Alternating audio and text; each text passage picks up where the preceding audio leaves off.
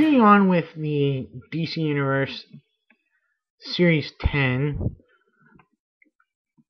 the uh, one of the Walmart exclusive series uh, that I've just recently acquired the last three figures needed to complete my whole set. And this being one of them, it would be Forager.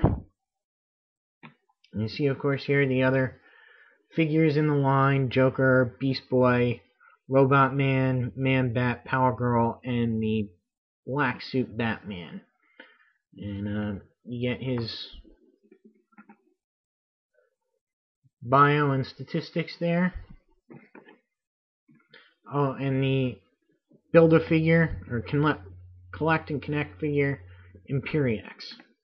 So Forager first appears in New Gods number 9 in 1972, is obviously from New Gods, part of the Jack Kirby Fourth World series.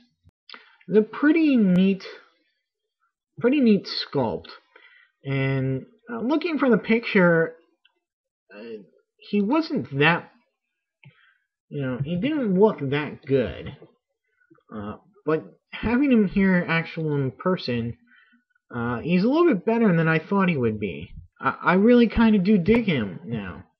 Whether it is the the open mouth sculpt or the shoulders, the way they did the shoulders, or just the just the overall design of him.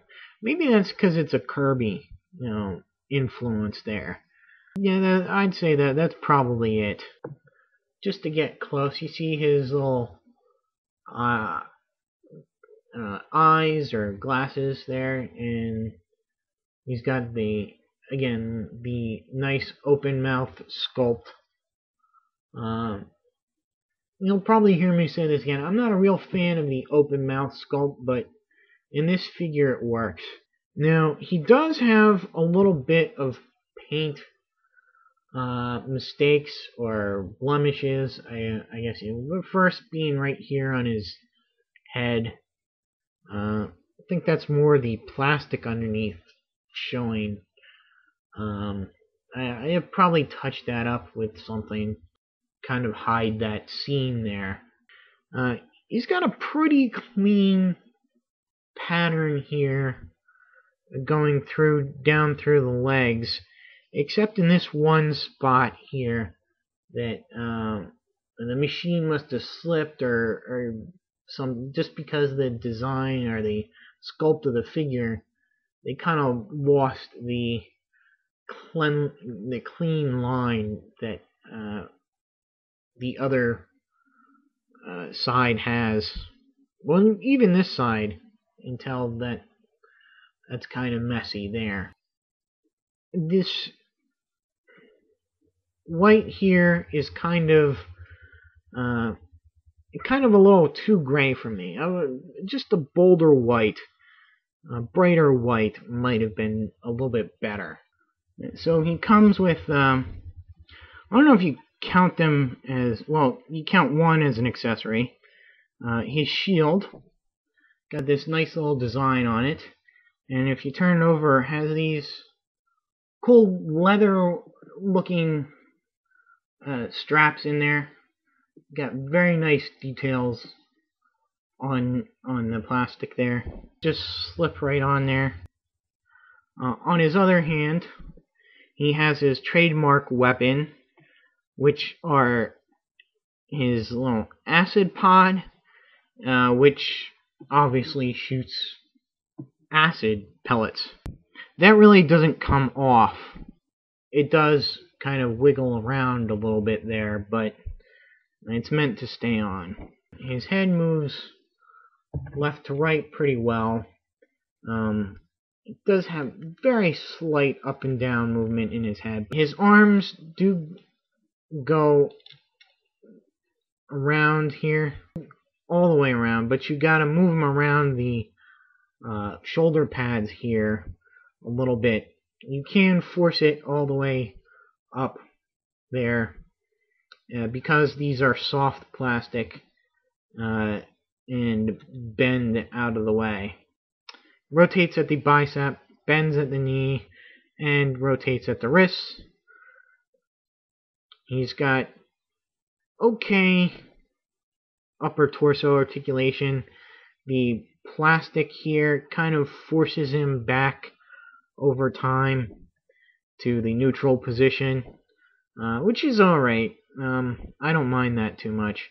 He's got waist articulation, and legs go forward and back. His tunic doesn't really impede that much. His legs go out pretty far and back in. They rotate at the thigh, but break up the nice design pattern here. And try not to try not to pose him too much like that. He bends at the knee and bends at the ankle. Now, Forager is uh, supposed to have evolved from the insects uh, that lived underneath the New Gods floating city on New Genesis. The insects there have, in, have evolved to a humanoid form. He was sent by his colony to the New Gods in asking aid to uh, defeat the other um, the insect being that was empowered by Darkseid, known as Mantis, who sought to exterminate his own species. It's heavily implied he might only be raised by the by the bugs, uh, but his real true background uh, remains unknown. Really, kind of just appeared here and there. Uh, not really big anywhere. Just sort of a background character. However, he does come to a pretty big prominence during the uh, Cosmic Odyssey story, where he actually sacrifices himself to save uh, not only Batman, but the whole of Earth. Uh, and Cosmic Odyssey is a is a um, great story from the early 90s. Um, there is a second Forager who appears uh, in the in the short-lived New Gods series, um, done in the mid 90s. She returns in the countdown.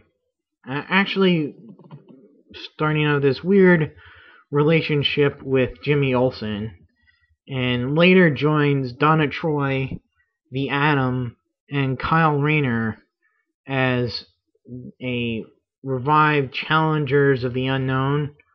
Uh, however, this is quickly done away with as you know Donna Troy and and the Atom and Kyle Rayner go off and do their own uh, things. You know, uh, various things with Blackest Night and um, Wonder Woman and uh, you know, and so uh, I guess she's still out there somewhere. Um,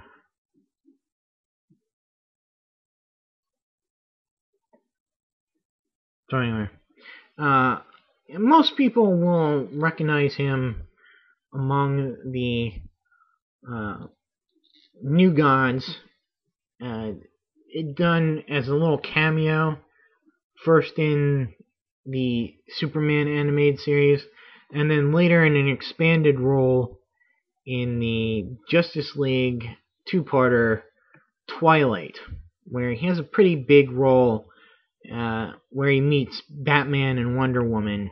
So anyway, he's a pretty cool figure, uh, and one that I, I'm I'm you know sad to say I wrote off at first as being, you know, just a little too goofy.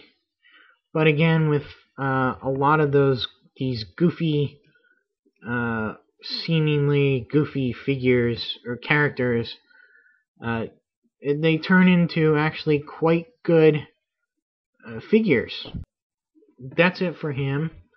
And stay tuned for my next review, which will be on uh, well, be on power, and until then, see ya.